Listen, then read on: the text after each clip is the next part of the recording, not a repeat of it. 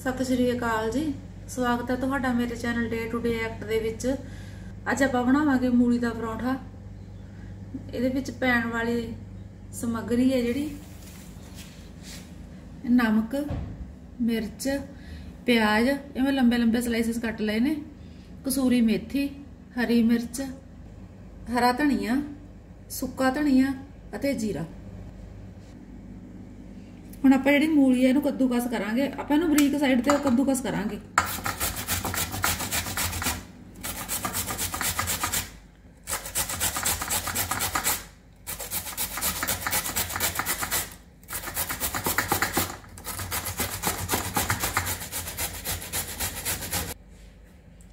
ਮੂਲੀਆਂ ਆਪਾਂ ਨੇ ਕੱਦੂਕਸ ਕਰ ਲਈਆਂ ਨੇ। ਹੁਣ ਆਪਾਂ ਗੁੰਨਾਂਗੇ ਆਟਾ। ਹੁਣ ਆਪਾਂ ਨੇ ਗੈਸ ਔਨ ਕਰ ਦਿੱਤਾ ਤਵਾ ਜਿਹੜਾ ਆਪਣਾ ਗਰਮ ਹੈ, ਜਿਹੜਾ ਆਪਾਂ ਧਨੀਏ ਦੇ ਬੀਜ ਲਏ ਸੀ, ਇਹਨੂੰ ਆਪਾਂ ਰੋਸਟ ਕਰਾਂਗੇ।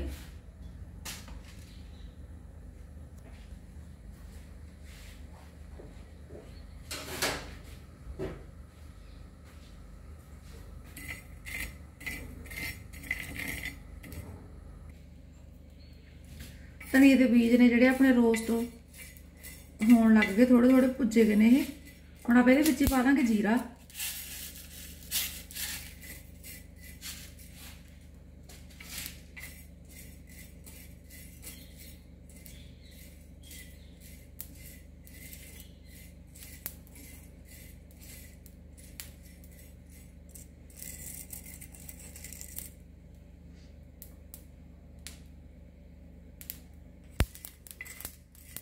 ਇਹ ਜੀਰਾ ਦੇ ਧਨੀਆ ਜਿਹੜਾ ਆਪਣਾ ਇਹ ਭੁੱਜ ਗਿਆ ਇਹ ਚਿਟਕਣ ਲੱਗ ਗਿਆ ਹੁਣ ਆਪਾਂ ਇਹਨੂੰ ਆਟੇ ਦੇ ਵਿੱਚ ਇਸ ਤਰ੍ਹਾਂ ਥੋੜਾ ਜਿਹਾ ਮਲ ਕੇ ਇਸ ਤਰ੍ਹਾਂ ਹੀ ਪਾ ਦਾਂਗੇ। ਇਹ ਮੂਲੀ ਨੂੰ ਆਪਾਂ ਆਟੇ ਦੇ ਵਿੱਚ ਪਾਵਾਂਗੇ।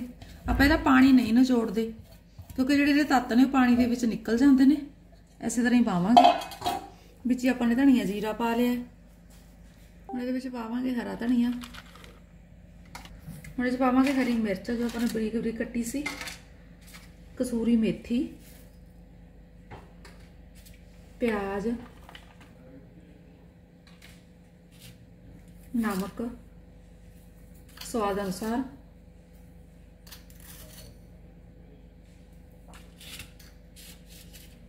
ਮਿਰਚ ਮਿਰਚ ਆਪਾਂ ਘੱਟੇ ਪਾਵਾਂਗੇ ਕਿਉਂਕਿ ਪਹਿਲਾਂ ਆਪਾਂ ਨੇ ਹਰੀ ਮਿਰਚ ਪਾ ਲਈ ਇਹਦੇ ਵਿੱਚ।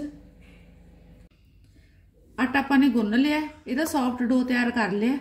ਹੁਣ ਆਪਾਂ ਇਹਨੂੰ ਅੱਧੇ ਘੰਟੇ ਵਾਸਤੇ ਰੈਸਟ ਤੇ ਰੱਖਾਂਗੇ ਢੱਕ ਕੇ। ਆਟਾ ਆਪਣਾ ਸੌਫਟ ਹੋ ਚੁੱਕਿਆ, ਆਪਾਂ ਨੇ ਅੱਧੇ ਘੰਟੇ ਵਾਸਤੇ ਰੈਸਟ ਤੇ ਰੱਖਿਆ ਸੀ। ਹੁਣ ਆਪਾਂ ਇਹਦਾ ਪੇੜਾ ਬਣਾਵਾਂਗੇ। ਪੇੜਾ ਵੱਡਾ, ਛੋਟਾ ਤੁਸੀਂ ਆਪਣੇ ਹਿਸਾਬ ਨਾਲ ਬਣਾ ਸਕਦੇ ਹੋ।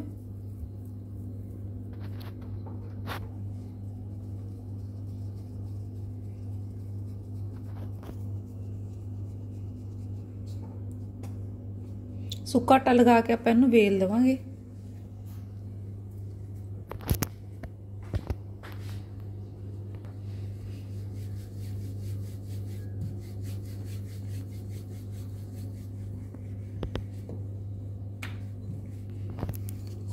ਹੁਣ ਆਪਾਂ ਇਹਦੇ ਉੱਪਰ ਲਗਾਵਾਂਗੇ ਦੇਸੀ ਘੀ।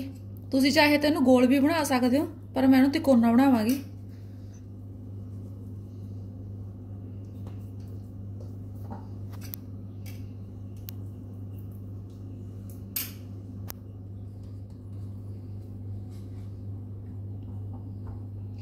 ਥੋੜਾ ਜਿਹਾ ਸੁੱਕਾ ਆਟਾ ਲਗਾ ਕੇ ਆਪਾਂ ਇਹਨੂੰ ਦੁਬਾਰਾ ਵੇਲਾਂਗੇ।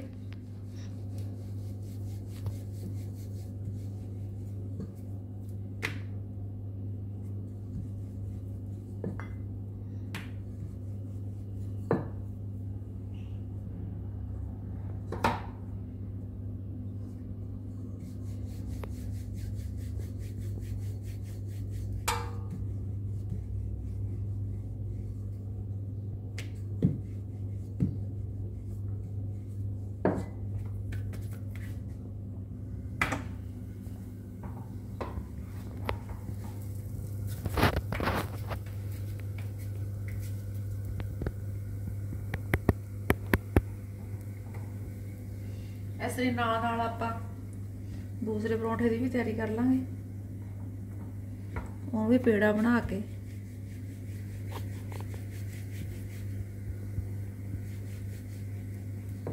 ਵੇਲ ਲਗਾ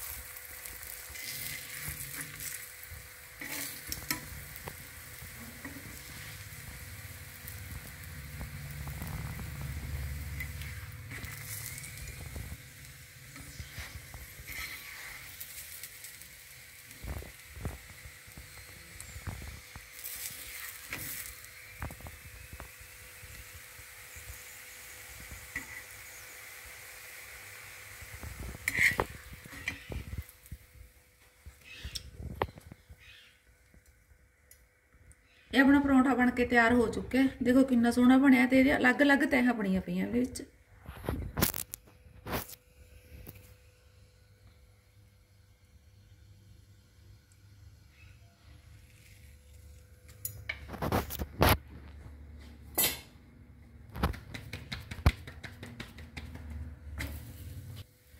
ਇਸੇ ਤਰ੍ਹਾਂ ਹੀ ਆਪਾਂ ਸਾਰੇ ਪਰੌਂ- ਪਰੌਂਠੇ ਬਣਾ ਲਾਂਗੇ ਹੁਣ ਆਪਾਂ ਇਹਦੇ ਉੱਪਰ ਘੀ ਲਗਾਵਾਂਗੇ।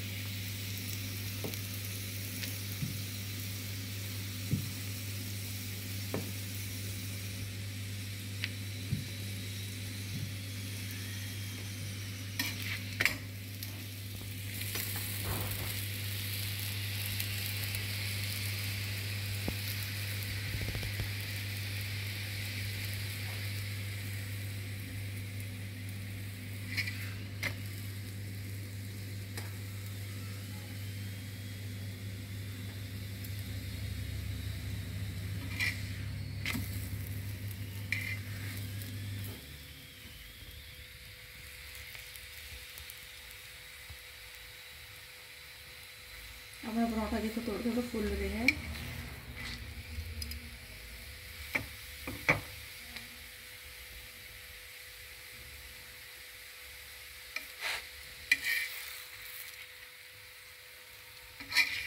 ਐਸੇ ਤਰ੍ਹਾਂ ਹੀ ਆਪਾਂ ਸਾਰੇ ਪਰਾਂਠੇ ਨੇ ਜਿਹੜੇ ਬਣਾ ਲਵਾਂਗੇ